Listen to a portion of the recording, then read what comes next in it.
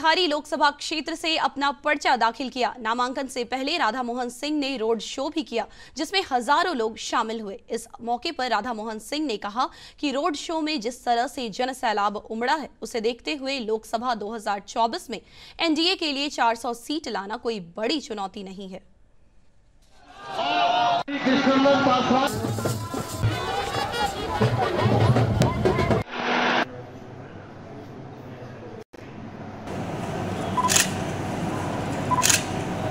और जिस प्रकार से शहर वासियों ने, माताओं, बहनों ने भी घरों से निकलकर जो मुझे आशीर्वाद दिया, निश्चित रूप से ये दसवीं बार मैं लड़ रहा हूँ।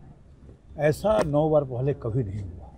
मैं अपने मतदाताओं का आभारी हूँ कि जिन्होंने इस चिलचिलाती हुई धूप में मुझे आशीर्वाद देने के लिए आए और